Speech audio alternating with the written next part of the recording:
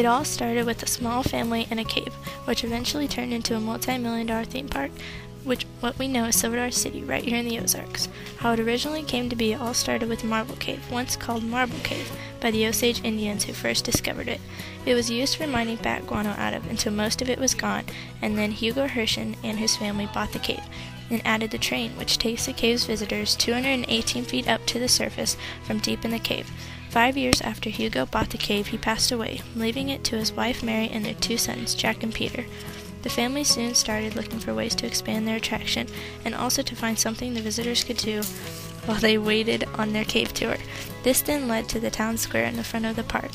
The first year, in 1960, Sodar City was open, more than 125,000 people visited the cave. Once the Herschends got more and more people and money, they started expanding the park, putting more shops, restaurants, and rides in.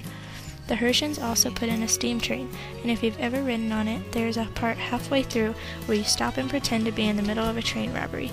That first started because the train had to stop in the middle and build up enough steam to get back up the hill to the train station.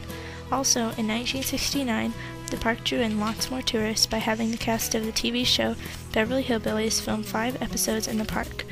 I interviewed someone who has been going there every year since 1969, and he said, My favorite thing about Sodar City is walking around because of the atmosphere, and my least favorite thing is sometimes the busy crowd.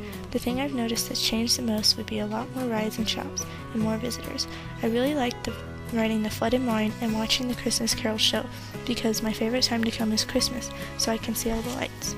From there on, Sodar City just kept growing and growing, and it still is. Over 2 million people visit the park every year because of its Ozark charm, activities, shows, and festivals. So now you see that Sodar City has gone from a small cave tour service to a huge multi-million dollar theme park.